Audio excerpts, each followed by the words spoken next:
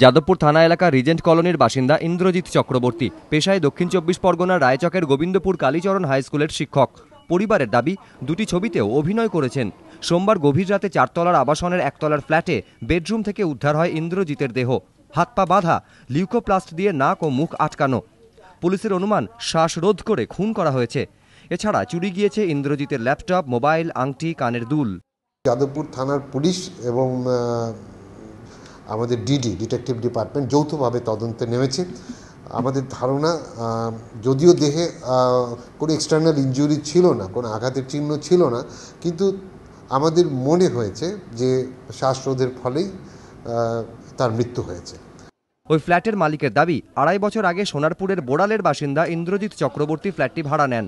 সেখানে তিনি গৃহশিক্ষকতাও করতেন। ভাড়া একজনকেই দিয়েছি আমি।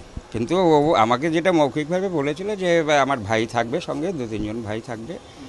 তা প্রথমে দু ভাই তো ছিল আমি তো তাই জানি আর বছর চলে যাওয়ার কথা মানে এই জুন- জুলাই মাসে চলে যাওয়ার কথা।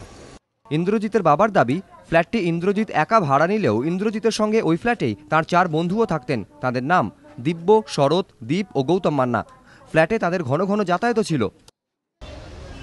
আমার যেটা মনে হচ্ছে যে ওকে কেউ মেরেছে ও জানাশোনা নিশ্চয়ই, এবং জেলাসি বশত ওকে এই জিনিসটা করা হয়েছে।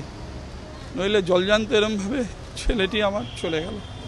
ইন্দ্রজিতের বন্ধুদের জিজ্ঞাসাবাদ করছে পুলিশ। পাশাপাশি কলকাতা পুলিশের গোয়েন্দা বিভাগের হোমিসাইড শাখার অফিসাররাও ঘটনার তদন্ত শুরু করেছেন। ইন্দ্রজিতের এক বন্ধু সোমবার রাত থেকেই উধাও বলে জেনেছেন তদন্তকারীরা।